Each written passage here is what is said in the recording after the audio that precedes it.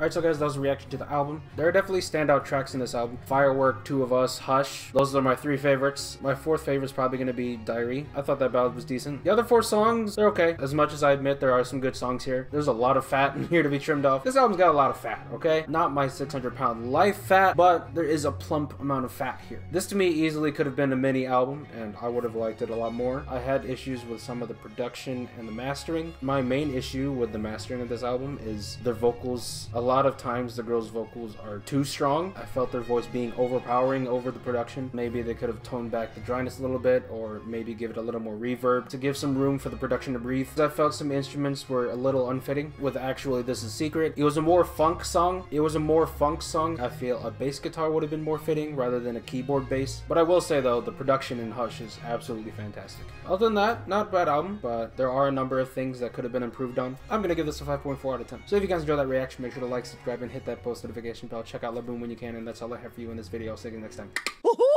Gosh.